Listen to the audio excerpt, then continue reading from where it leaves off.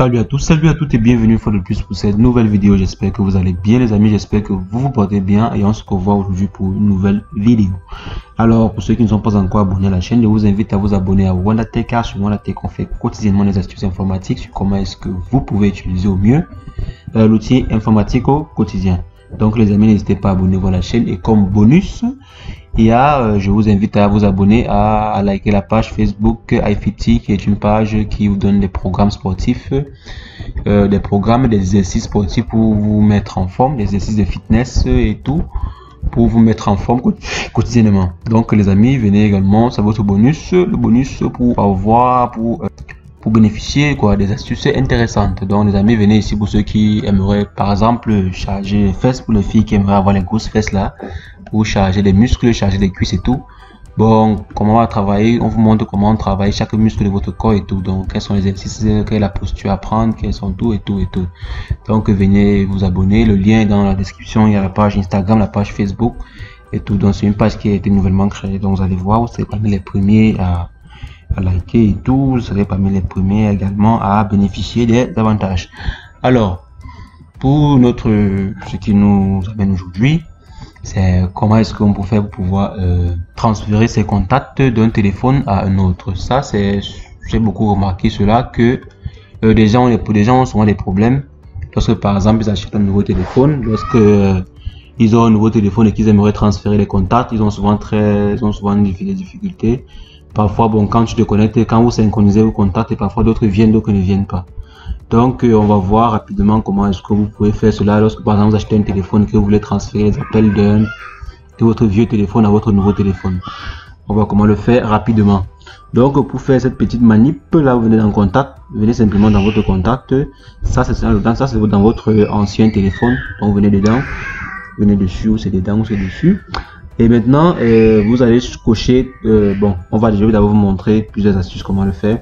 La première méthode consiste à prendre vos contacts. Donc, je viens là, je viens là, par exemple, je dis partager les contacts. Donc, venez sur partager les contacts visibles et vous cochez tous vos contacts. Donc, vous cochez tous vos contacts. Bon, moi, j'ai moi j'ai plus de 1600 contacts et tout. Vous cochez tous vos contacts. Bon, si je coche par exemple tous mon téléphone, on dit que je ne peux pas cocher, cocher plus de 1000 contacts. Donc, vous pouvez par exemple cocher, je sais pas, le nombre que minimum que vous pouvez. Donc moi par exemple je coche comme ceci, je clique sur partager. Maintenant vous venez sur partager et vous partagez euh, via le Bluetooth. Donc la première astuce c'est partager via le Bluetooth. Quand vous partagez via le Bluetooth, ça va envoyer via Bluetooth un fichier contact, un fichier avec une extension un peu particulière. Donc ça va vous ça va compresser vos contacts, ça va envoyer ça dans le nouveau téléphone. Et maintenant quand vous serez sur votre nouveau téléphone, vous allez recevoir, vous allez juste appuyer sur ce que vous avez reçu quoi. Vous allez juste cliquer sur ça et ça va charger vos contacts dans votre répertoire.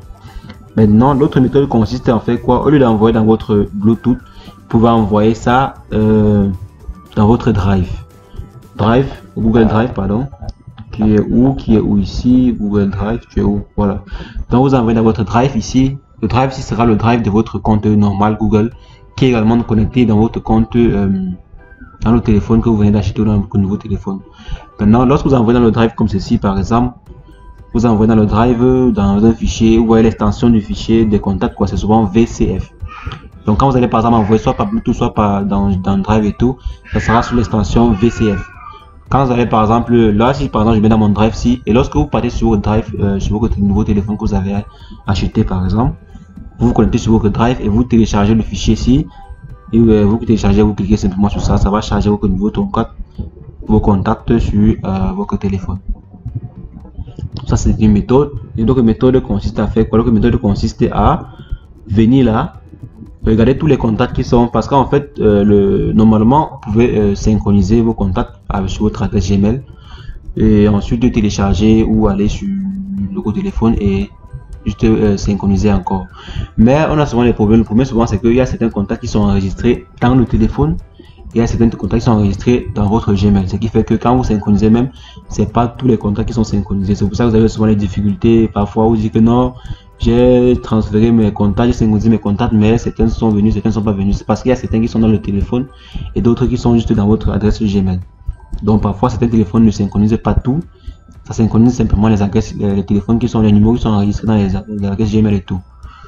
Donc euh, pour ceci, Euh, pour pouvoir le faire, bon, pour pouvoir euh, vérifier tout et tout et tout et tout et tout et tout, il vous suffit simplement de faire quoi? Venez juste dans votre, votre, votre répertoire contact, parlez sur importer.